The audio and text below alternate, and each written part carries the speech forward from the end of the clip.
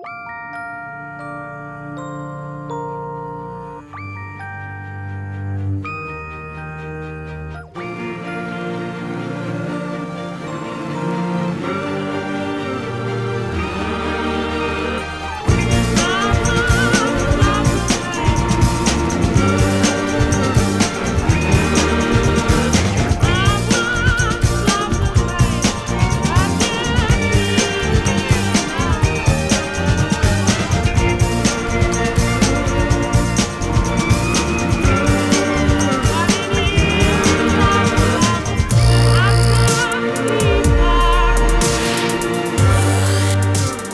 ce soit la MJ, c'était le club interjeune. Bon, bah, parce qu'il y avait des jeunes qui traînaient, entre guillemets, euh, comme ils peuvent traîner maintenant à l'époque. Donc on a dit, bah, tiens, ce serait bien si on pouvait euh, faire quelque chose, donc se réunir. Alors on se réunissait bah, dans, cette usine, dans l'ancienne usine.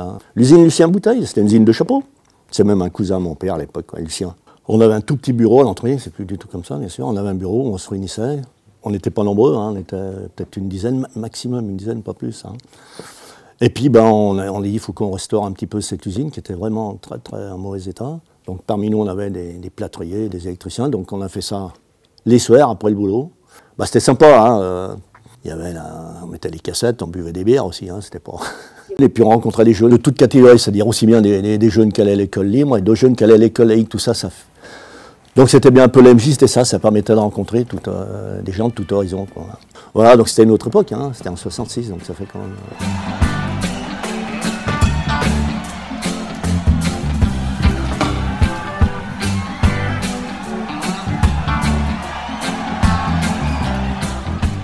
Eh bien, en mai 68, il y a eu une assemblée générale euh, pour euh, élire un nouveau bureau du Club interjeune de France et d'Europe.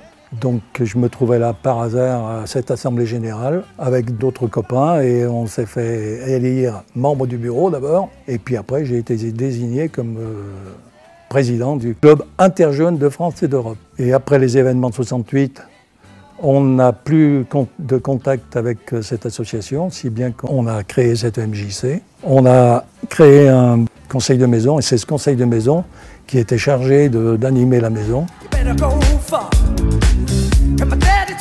Comme activité principale, au départ, il y avait le, groupe folklorique.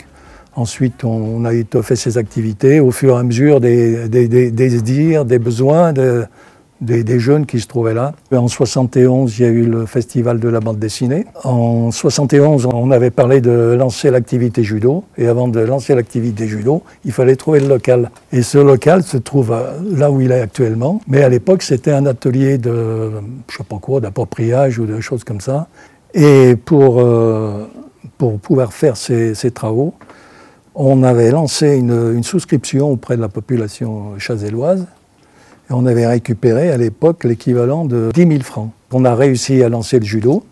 Il y avait la danse, la danse classique qui avait été lancée par euh, mademoiselle Evelyne Guichard. Et en 71, on avait également euh, envisagé de, de faire un voyage à l'étranger. Le but, c'était euh, Istanbul, avec un tube HY, avec une deux chevaux, la deux chevaux de Chantal. Et nous sommes partis à 13 à Istanbul au mois de, je crois que c'était juillet ou août. Ça avait été une très belle expérience. Et ce tube, et après, est retourné en voyage euh, les, années suivantes au Maroc. Chaque année, euh, on faisait également euh, un gala.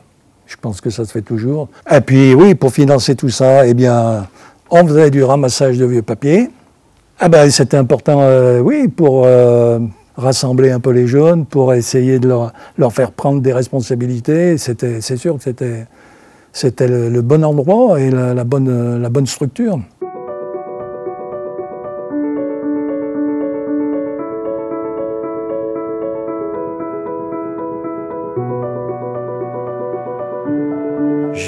J'ai fait une demande à la pour venir avec mon groupe de karaté. On était 30 à 40 personnes à peu près. Et puis, euh, courant 74, justement, je suis venu voir Guy Messonnet, qui était président à l'époque. qui m'a dit oui, pas de problème, euh, il y a déjà le tapis de judo qui existe, euh, pas de problème, si vous avez besoin d'un tapis de judo, il est là, Euh, allez, venez avec votre karaté. Je suis arrivé comme ça à la MJC. De fil en aiguille, euh, je suis déjà rentré dans le bureau euh, de la MJC en tant que secrétaire, et après, euh, petit à petit, ben, ils, m'ont nommé président. Voilà. J'ai continué un peu dans l'idée des autres présidents, c'est de garder, euh, une vie de maison avec tout un tas de gens de différents. Quoi, voilà. C'est surtout ça qui était super important. hein. Différentes religions, différentes, différentes euh, partis politiques. Il fallait que tout le monde soit à la MJC et ça, je tenais à le, conserver pendant. Et c'est ce qui s'est fait hein, d'ailleurs. Il y avait beaucoup de vie de maison à cette époque-là. C'est-à-dire que tous les jeunes, en principe, avaient du travail sur Chazelle et les soirs, on se retrouvait tous ici à la MJC pour jouer au ping-pong, faire du baby-foot, faire du flipper, euh, voilà. Les filles faisaient un gâteau, elles descendaient le gâteau, on buvait une bière, voilà. Le cinéma itinérant est arrivé en 1981 à la MJC. Et donc euh, la MJC en a été euh, le support sur Chazelle. Souvent mes parents me disaient mais putain mais va, va y mettre un lit là-bas, dors là-bas si tu veux. C'est vrai à l'époque j'étais pas marié, et bon je passais mon temps à la MJC. Floating in the river with a saturated liver, and I wish I could forgive her, but I do believe she meant it when she told me to forget it, and I bet you will forget it when you find me in the morning, wet and drowned, and the boat gets round, going down. Je suis arrivée à la MJC, j'avais allez, 15 ans, et avec euh, notre prof de sciences naturelles, Pierrette Pascal, on faisait des activités et on avait formé un groupe qui s'appelait les Jeans. Et on avait besoin d'une salle pour répéter et on avait envie aussi de participer au gala de la MJC. L'ancienne MJC n'était plus aux normes et puis plus assez grande, Euh, donc euh, il a fallu envisager la construction d'un bâtiment, ce qui était quand même une grosse affaire. Donc ces travaux ont démarré avec Joël Patural, euh, se sont achevés euh, avec Jacques Reynaud, puisque ce bâtiment a ouvert, a été inauguré en 1989. Il fallait agrandir, il fallait évoluer.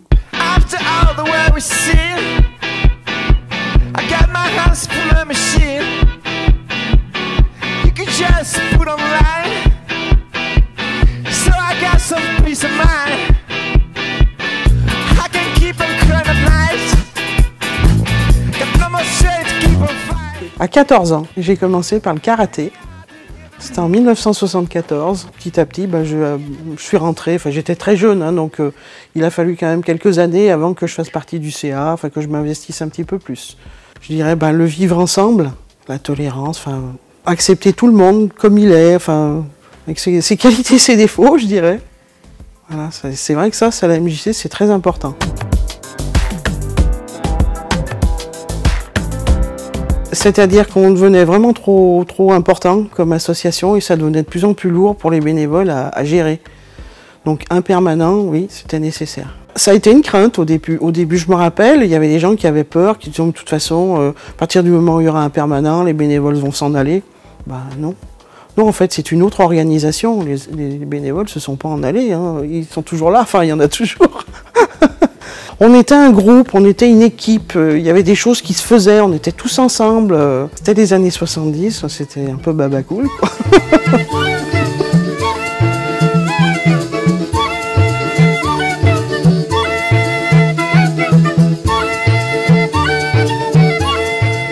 la MJC, ça a été une grande aventure.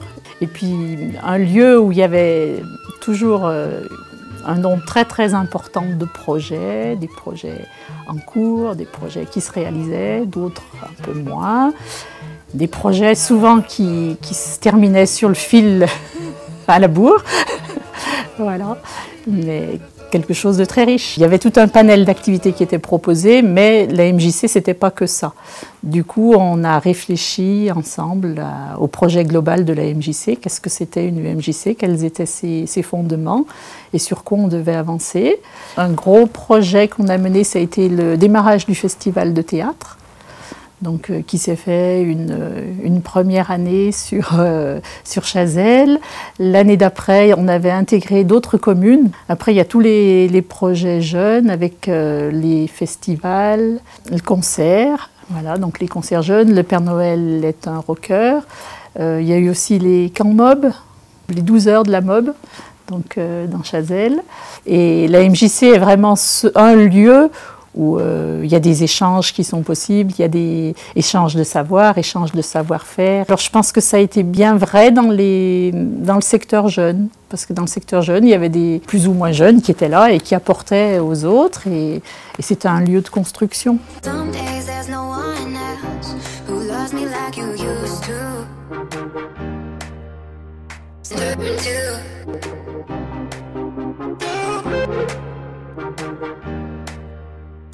Je suis arrivé là parce que je faisais de la sono à l'époque et euh, l'ancien euh, directeur de la MJC euh, m'avait contacté pour faire une sono sur le, euh, le, le plan d'eau du Rong. Et je suis allé là-bas faire euh, une sono un soir. Et puis il m'a dit, bah, passe à l'MJC pour, euh, pour te payer. Et puis euh, là, il m'a montré un petit peu comment ça se passait. Ça m'a donné envie. Donc je suis resté comme un jeune de, de 18 ans. Je suis resté à l'MJC. J'ai rencontré des copains. Et puis là, on, m'a demandé de rentrer dans le conseil d'administration au départ. Donc je suis rentré comme ça.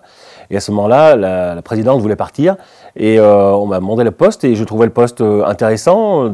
C'était euh, constructif. Donc j'ai accepté. Et, euh, et ça m'a énormément aidé. Et même pour maintenant, ma vie professionnelle actuelle, euh, ça m'aide toujours. Ça m'a permis de prendre l'assurance, tout à fait. Et des responsabilités surtout. Voilà, que j'avais pas avant, parce que j'avais juste 20 ans. Donc ça m'a permis de prendre des responsabilités, aussi bien sur le personnel, parce que quand on est président, on gère le personnel. Il y avait quand même un directeur qui était là, mais il y avait quand même du personnel. On en est responsable. Et puis tout ce qui est responsabilité euh, bah, lié aux manifestations qui se passaient pendant ce- cette époque-là. quoi.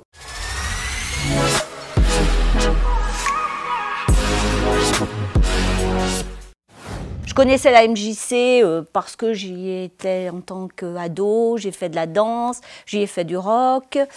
Et puis voilà, j'en suis revenue euh, par ma fille qui euh, faisait de la danse classique et, du modern jazz ici à la MJC et qui était déjà dans le conseil d'administration parce qu'elle s'occupait de tout ce qui était animation, concert à la MJC. Dans ma philosophie, le travail en partenariat, en réseau, euh, enfin, pour moi, c'est une évidence. On a mis en place euh, la semaine de la tolérance hein, sur, en partenariat sur le, le territoire des Monts du Lyonnais. On a mis le, en place euh, bah, la fête du livre aussi sur tout ce qui est euh, les jardins partagés, tout ce qui est développement durable. On a quand même travaillé en partenariat avec Liane, l'association du Chourali.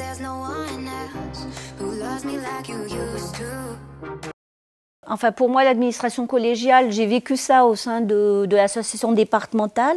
On travaillait déjà quand même beaucoup en délégation au sein de la MJC de Chazelle. Et je trouvais que c'était intéressant pour que tout le monde s'investisse à son niveau. euh, cette administration qu'on avait avant euh, pyramidale devienne un peu transversale et que tout le monde s'implique euh, au niveau de la MJC. Euh, je pense que c'est l'avenir des associations. On a beaucoup de projets qui sont en train d'émerger euh, dans ce sens-là.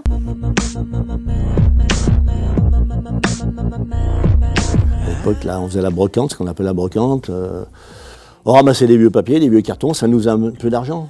C'était en 75, un samedi soir, euh, on dit qu'est-ce qu'on fait? Qu'est-ce qu'on fait alors? Il y en a un, deux- un ou deux qui lancent une idée. Oh, on serait bien allé à la Vogue à Marclos. Qu'est-ce que j'ai fait? On avait un tube Citroën qui servait à ramasser tous les cartons dans Chazelle. J'ai récupéré une vingtaine de chaises, une vingtaine de chaises mobiles comme ça. Hop, on les a toutes mis dans le tube Citroën. Et je suis parti avec mes 20 jeunes euh, à la Vogue à Marclos. Quoi, voilà. Et on a fait notre aller-retour, on est rentré à 2h du matin. euh, ça s'est quand même bien passé. Une anecdote qui m'a marquée, oui. Oui, le téléphone. Ça paraît simple, bête à l'heure actuelle. Mais lorsqu'on a eu le téléphone à la MJC, eh bien, c'était quelque chose de très important. Ça permettait évidemment de, ben, de faire fonctionner la maison sur le plan administratif. Des choses qui m'ont marqué.